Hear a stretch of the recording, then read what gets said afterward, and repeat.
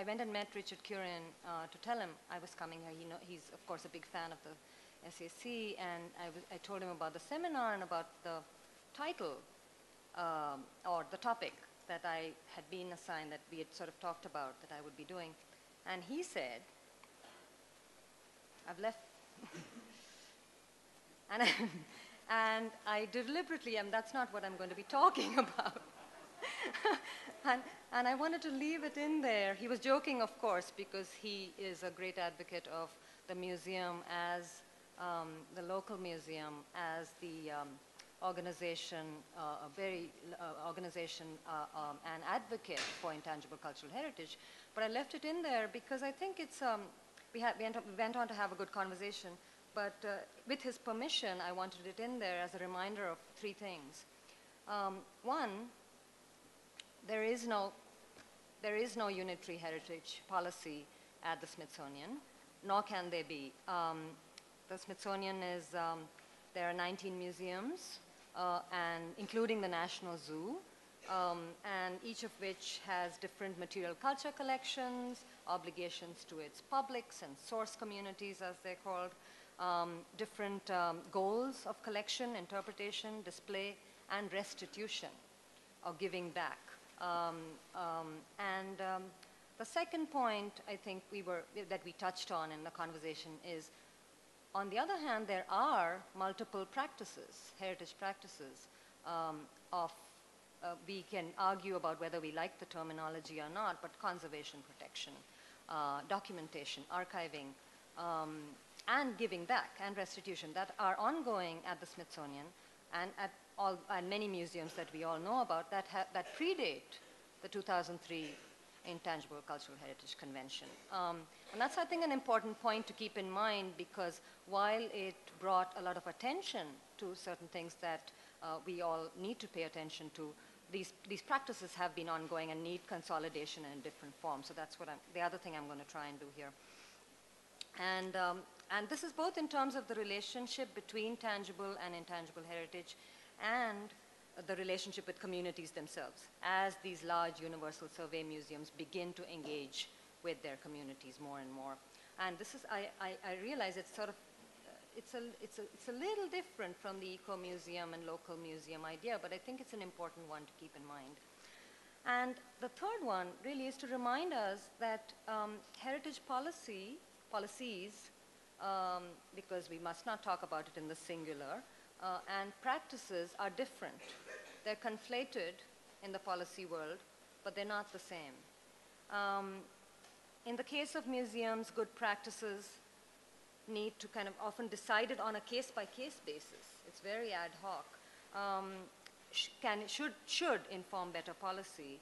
And in turn, progressive policy um, in an ideal world should be able to map new ways in which to embrace core values, core mission values of inclusion, uh, justice, access, collaboration, and again, what's known in the, in, in, in the American museum world as giving back. So what, what do you give back? What do universal museums give back to the, way, to the rest? Um, is, uh, is, is a theme I'll keep coming back to here. Um, what in the, in the conversation with Kurin, what also emerged as, as we began to talk, we said what's really needed in, for heritage policy in 21st century museums is a critical reflective museology that, that has kept pace with these cultural changes. Um, we are, I, I, think you've all read about the, the no changing notions or at least ideas of museums from temples to forums and uh, things like that. So that's so institutionally, there's a way in which that needs to be um, kept in mind. But it also needs to be grounded by museum collections.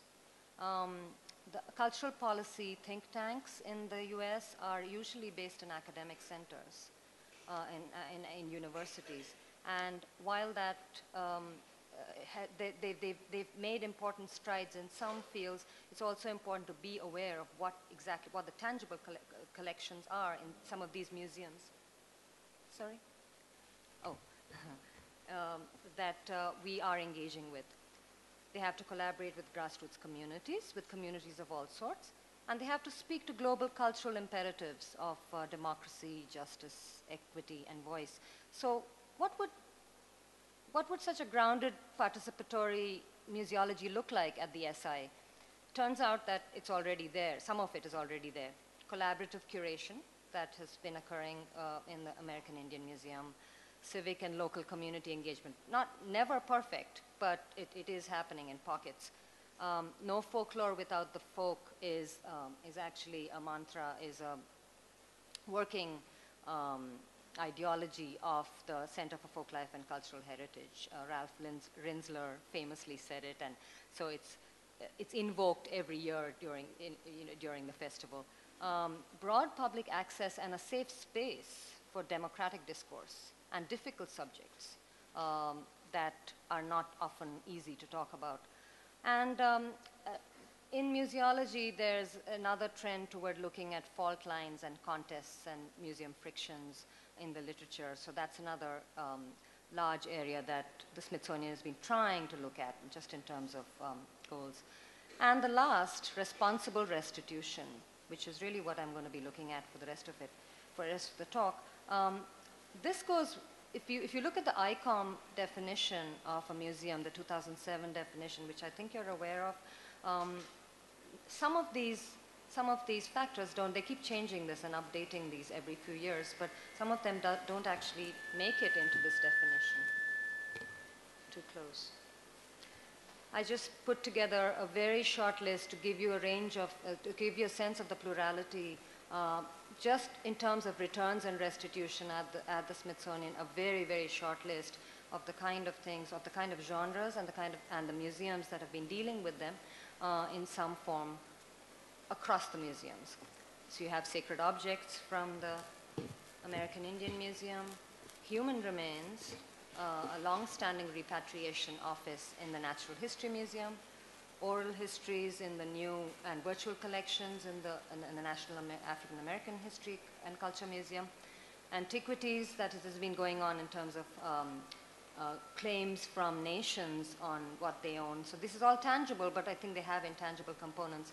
Art Provenance is a huge program in the World War II era of Nazi-owned art, um, which uh, has success, some of which has been successfully returned. Underwater archaeology, which is contested. Um, digital returns has taken a new, this is something Kate has been working on um, with the Arctic Study Circle, where they've been trying to actually, there's, there's, a, there's a way in which they, they're giving back the photographs uh, and helping the communities work on exhibitions around the objects, although the objects remain with the, with, with the museum. It's, it's an imperfect solution, but that's sort of one way they're actually working with the photo initiative of the Smithsonian. Living traditions, of course, and sound and music, which is folk life and folkways, uh, which I'll get to soon. And uh, I just put in at the end um, a seminar that Kate was part of, and that's where we met, called After the Return, um, which was talking about what digital repatriation really means. Uh, and does it mean anything at all? Is this something real or is it a cop-out? And can it mean a circulation of knowledge back to the communities? Please stop, I mean, if I, I'm known as a fast talker as well, so if, please stop me if I'm going too fast and we can make this interactive. So it's the last that I'm going to be, it's really I will be focusing on restitution. The real talk, uh, the real topic uh, that I will be dealing with right now, as Alex and I talked about this a little bit, is music returns, music repatriation at Smithsonian Folkways. So one genre, one heritage genre, uh, music, which is understudied. Uh, usually you have visual images that are talked about a lot with digital returns in the Smithsonian Folkways. And I'll get to describing the uniqueness of that particular museum uh, in a bit. What, I, I mean, I want to focus on returns as at the Smithsonian in two specific ways um, that I think help broaden the discussion. Um, and this is a joint effort that some of us at the Folkways have been working closely with Kate's group, uh, the after, the after the return group.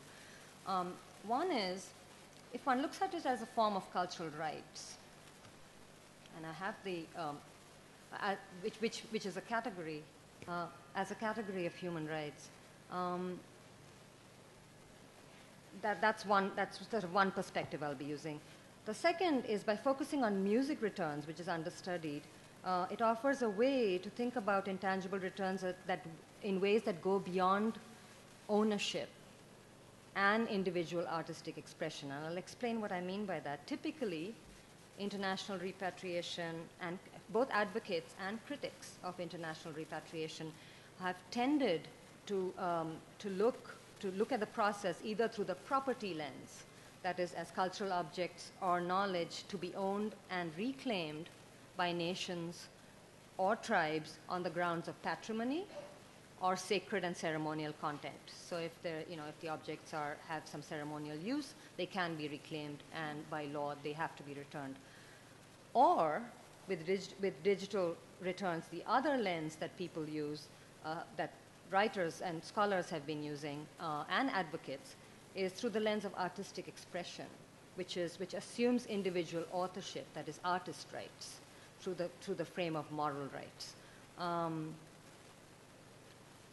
the second thing that music or digital music returns allows us to think about is a new way of thinking about museum obligations um, with, with intangible heritage returns that are only going to be getting more and more common as museum collections increasingly engage with communities but cannot, cannot actually give up on the ownership. They have to read, the Smithsonian Folkways, for instance, owns many of the recordings by contract. Uh, and what, while they cannot, while they've talked about giving, giving back the ownership to various communities, they can't for various reasons, for legal reasons. So the other way to do it is to, by thinking of creative ways in which to extend licenses uh, or royalties uh, and have the material benefits kind of transfer back to the communities. So, so it's, a, it's a way to think about museums as stewards, as, as stewards of, of this knowledge, of this, if this culture, of, of, of cultural brokers, but more importantly, stewards uh, who are holding it for the communities in question. And the other thing, finally, it suggests that digital returns can be transformative for communities sometimes, um, both materially through the trans, you know, if they, if they earn through royalties and through licenses, but also what is known as circulation of indigenous knowledge. Uh, that is, if they contribute to the reuse and revitalization of music and the redistribution of the contextualization of that knowledge. And while these are all just big words, I'll get to the case studies, and I think you, I think you might see what I'm trying to, to say, because the royalties and the financial rewards that may accrue from the ownership might help in certain ways, but what really gives them control, it's called the terms of use. It's called control over the use of knowledge rather than the ownership itself. I've included um, Rosemary Coombe and El Elizabeth Coleman's um, a quote from their article, which is very important in the music repatriation literature because it's about restitution for historical injuries uh, that because of the, the, the, recordings that are owned by the Smithsonian, but they're also a way in which to, to look at the past, but also allow the way for the communities to reimagine not only their past, but articulate their futures. Uh, so it's, it's, a, it's, a, it's a creative way of actually getting at this. Why music? Music becomes an ideal kind of heritage genre to think with for some scholars because recorded music lies at the heart of worldwide cultural wars, um, both in terms of the recording industry and their monopoly on, on rights, but also because it allows you to work against business interests uh, and other ways in which to think about ownership here. But the second thing, the second really important reason is that music as a category in Western law um, scholars say, has the capacity, especially through digital technology, to divorce the ethnological content of the song um, from the, the whole, the cultural work that the song uh, was recorded in, or the capacity, the social capacity of the song itself. Um, and therefore, when you're thinking of digital returns, of actually returning the song to the community, um, from universal uh, museums. It can have uh, effects like cultural renewal. It can have, it can think about social justice, it can talk about indigenous self-determination, not just moving the song back in terms of ownership or property. I see, uh, I mean, I, I think this is, I assumed you might know a little bit about the ownership literature, but i would be happy to actually talk it through when we come to the case studies in case it's a little dense. It's, it's a legal issue that, that is being navigated. And why folkways? And actually, this is this is, I think, the reason that um, the Folkways collection, the Smithsonian Folkways collection, becomes an interesting uh, body through which to think this through. Folkways, for those of you who know who don't know, is actually it's it's uh, in the heritage repositories of uh, worldwide of music and in indigenous knowledge. It's somewhat unique because it's both an archival collection of traditional music from around the world and a non-profit recording label. So it's actually a recording label which actually publishes music and sells it. Um, and so it has a duty by virtue of its founder through his will uh, and through the way it was absorbed into the Smithsonian to keep the catalog available in perpetuity. What that means is against the vagaries of the marketplace, against what is needed in terms of a particular place, uh, in terms of popularity, they are enjoined the, they have a duty to keep any all of the all of the recordings available in perpetuity while they may not be there physically they can be ordered and uh, by anyone. So it's a, it's an it's an it's a recording label. Um, so with the mission that balances it also in, it has revenue it has revenue needs. So it it it, it, it um, there's money uh, that they do make from selling these CDs and I was actually going to bring them up here to show you but I will tomorrow. Uh, they balance the revenue needs with cultural documentation and a broad appeal to global audiences uh, through several series of classic jazz, classic bluegrass, uh, but also contemporary uh, um, uh, things from around the world. Because of this duty and this mission, it embodies two innovative ideas for 20th century museums. One is that it digitally returns recording rights to countries of origin through licenses. I'll explain how. Two is that it circulates this knowledge through publication, publication of the, of the CDs. So there's music that is actually published. But when I say published, I mean, you know, the, the CD is issued. Um, payment of the royalties to those who created it, to the makers, and license fees every time the music is heard, uh, or every time it's actually listened to or heard the brief, I, I, think I was not going to, I was going to skip over this, but I think this is important. The brief history of folkways is important here. From 1948 to 86, it was the founder, Moses Asch, this was what they call the private sector history of folkways. Uh, it was called the Folkways Recording Services and Services and Corporation. Um, it was a very comprehensive archive of not only music but sound an oral history of everything. You have recordings of frogs in Madagascar to um, early bluegrass and um, early, early Bob Dylan, all, uh, those of you who know folk, folk music, uh, classic recordings of the Seegers, uh, all of that. Um, so he, his idea was that every, there had to be a comprehensive archive of oral history of things that uh, of, of the world, of the universe. And in his case, of course, he was this was New York, and it began with the North American continent and then moved worldwide. But that was to 86. In 87, then you had Ralph Rinzler who came and um, changed the way the Folklife Center was actually run. But the important person for us in this um, situation is Anthony Seeger was the founding director of Smithsonian Folkways. Uh, and in, that was in 1987 when the Smithsonian, which is the national museum of, in the US, uh, absorbed this recording label. So it's, it's one of the, it's, it's unique. It's, called, it's been called the museum, a museum of sound. Um, a New York Times reporter called it the, the answer to, I think he, called, he termed it the ethnographic iTunes. Uh, so it's actually it's, it's, it, it, it, it's a very it sits it sits on this fault line of being an archive but it's also a recording label. It actually produces the music that uh, is set around the world. And um, in 2000, around 2000, they met with the cultural, um, the Folkways uh, uh, representatives and the director and uh, the associate director and um, many representatives met with the cultural attaches of the northern African countries and, uh, and decided through the State Department that they would evolve a way in which they could actually repatriate, try and repatriate music to their countries of origin. And the concept was very simple.